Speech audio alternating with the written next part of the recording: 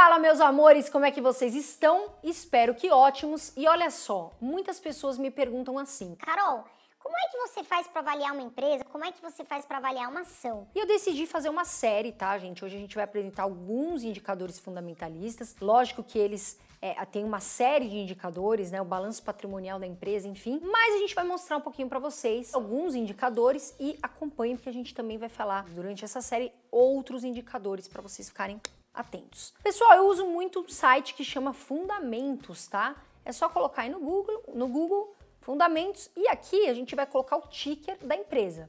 Hoje a gente vai avaliar juntos a Itaúsa, tá, gente? Uh, Itaúsa. Deixa eu só colocar aqui. Exibir. Ela que tem aí ações ordinárias e ações preferenciais, né? A gente vai colocar na Itaúsa 4, que são as preferenciais, ações preferenciais. Lembrando, pessoal, para quem não sabe o que é Itaúsa, a Itaúsa é uma holding que ela é dona de Banco Itaú, por exemplo, que é um banco muito consolidado, tá, gente? Uh, fora Duratex, Alpagartas, enfim. Abrimos aqui o site Fundamentos e, e o que, que a gente vê aqui já de cara, né? A cotação dela hoje, 9,54, tá, gente? Aí a gente vê que ela é uma empresa aí do setor financeiros, que é do subsetor bancos, bancos que é normalmente aí um, é, é de setor perene e sofre menos durante crises, né? Por exemplo, agora que a gente está enfrentando uma crise. O que, que eu vou ver aqui quando eu vejo valor de mercado? Como é que eu sei esse valor de mercado? Antes de mais nada, gente, quando você colocar aqui do lado tem um pontinho de interrogação, que é aonde aparece para vocês o que significa exatamente aquilo. Então, o valor de mercado, como está escrito aqui, você vai calcular o número de ações que está bem aqui, tá vendo? Vezes a cotação do dia, tá bom? E aí a gente vai ter o valor de mercado. Aí, pessoal, agora a gente vai ver o que? O patrimônio líquido da empresa. O que, que significa o patrimônio líquido, tá? É os ativos que aquela empresa tem menos os passivos, né? Dívidas, enfim, ah, gastos, todas as dívidas que aquela empresa tem. Bom, aí a gente vê aqui embaixo o patrimônio líquido, né? Que tá em média aí de 51, tá, gente? 51 aqui eu vou pôr, vocês vão ver aqui o valor, mas vamos falar aproximadamente aí um patrimônio líquido de 52 bilhões. Aí você vai me falar, mas Carol, o valor de mercado dela está aproximadamente ali 80 bilhões, né?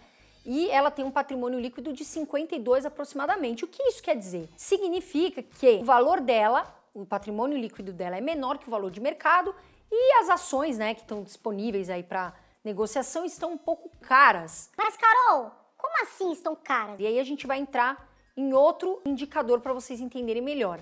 Mas o que, que eu quero dizer para vocês? Que o mercado avalia essa empresa como mais cara do que ela de fato tem de patrimônio líquido, tá bom, pessoal? Quando você for fazer comparação, lembre-se, sempre comparar empresas do mesmo setor, tá, gente? Uh, banco com banco, elétrica com elétrica, enfim, porque muda muito os indicadores fundamentalistas. E aí a gente vai vir aqui para o P sobre VP. Lembra que eu falei? Fique tranquilo, porque quando você põe no ponto de interrogação aqui no Fundamentos, aparece perfeitamente o que significa cada indicador, tá, gente? Então vamos ler aqui rapidinho P sobre VP. Preço da ação dividido pelo valor patrimonial por ação. Informa quanto o mercado está disposto a pagar sobre o patrimônio líquido da empresa. Ou seja, o mercado está pagando né, 54% a mais do que a empresa apresenta de patrimônio líquido. E aí você vai me falar, Carol, qual é o P sobre VP ideal? Veja bem, para mim, Carol, de 1 a 1,5, tá, gente? A gente tá falando aqui de 1,54. Por quê? Se o P sobre VP tiver em 1, significa que você está pagando um valor ali da ação, né, justo referente ali ao valor patrimonial. Se tiver esse P sobre VP alto, né, significa que você está pagando caro tá? Na ação. E se tiver abaixo, como a gente está vendo agora, né, PVP de empresas boas, abaixo de 1, significa que você está pagando barato na ação em relação ao valor patrimonial. Aí você vai me falar, Carol, mas significa então que a empresa que tem um P sobre VP alto é ruim? Não. E é por isso que a gente fala que tem que se avaliar em conjunto todos os indicadores. Por exemplo, a VEG a VEG ela tem um P sobre VP alto, por quê? E ela é uma empresa de motores, ela é líder de mercado e ela tem um valor de mercado que as pessoas acreditam muito. Mas ela é uma empresa ruim? Nunca. A VEG é uma empresa excelente. E é por isso que a gente fala que tem que se avaliar todos os indicadores juntos.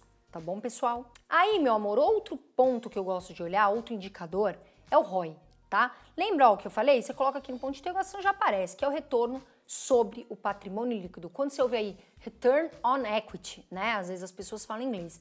O que, que significa isso? Que é o retorno sobre o patrimônio líquido que a empresa tem, ou seja, ela mesma investe, né, com os recursos dela e quanto que ela tem de retorno. Então, uh, o ROI aqui está em 17%, tá?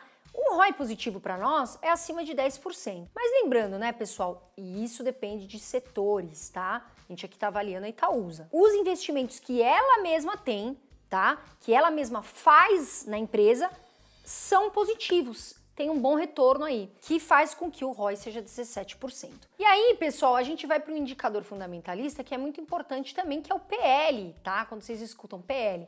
O que, que significa PL? É o preço da ação dividido pelo lucro, né? por ação. De uma forma mais objetiva, para ficar mais claro, é quantos anos você demoraria para ter o retorno do que você investiu.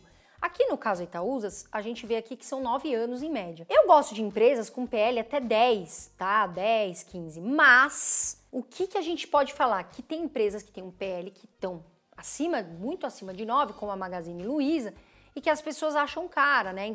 Algumas pessoas falam, ah, tá muito esticado o valor. Mas, porque ela tem um PL alto, mas eu gosto da Magalu, eu tenho um pouco da Magalu na carteira e ela tem um PL alto, então não significa sempre que porque o PL é alto a empresa seja ruim. E aí a gente vai olhar um outro dado aqui, um outro indicador, que é o dividend yield, tá, gente? Olha só, o dividend yield da Itaúsa é 9,1%. É um dividendo alto, né? Dando lambada aí na taxa Selic.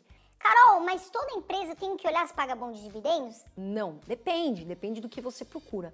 Normalmente, empresas mais sólidas aí, que já estão, né, que já estão há mais tempo na bolsa, normalmente essas empresas pagam bons dividendos. A gente tem empresas que pagam bons dividendos e empresas que reinvestem os dividendos, né?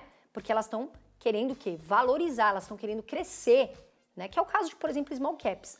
Então, gente, às vezes a empresa, que small caps são empresas menores, com um valor patrimonial menor, mas que tem chance de crescer. Então, gente, depende muito do que você está buscando, tá bom? Por isso que tem que avaliar num conjunto. Então é isso, gente. Acho que hoje a gente falou bastante aqui alguns indicadores para vocês importantes. A gente tem um Telegram que a gente inclusive faz avaliação de ações, avaliação de fundos imobiliários. A gente tem um Telegram com conteúdos exclusivos, podcasts para vocês.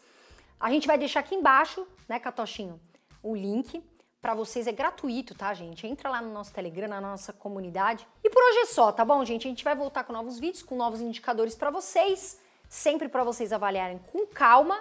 Fiquem com Deus, a gente vai superar essa crise, fiquem tranquilos, porque o Brasil vai sim voar e voar muito. Tá bom, gente? Um beijo de luz, fiquem com Deus e voa Brasil!